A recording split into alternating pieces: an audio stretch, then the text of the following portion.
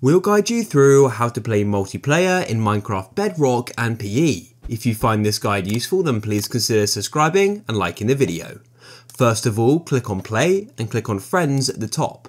And what you need to do is add the friends who you want to be able to go and join your world. So click there and you can then go and type in their name, go and search for them like so, and then it'll go and find their profile. Now I've already added this person here so it says friend, otherwise there'll be an add friend button. Once you've added them as a friend, come to worlds and either you can go and edit an existing world or click on create new.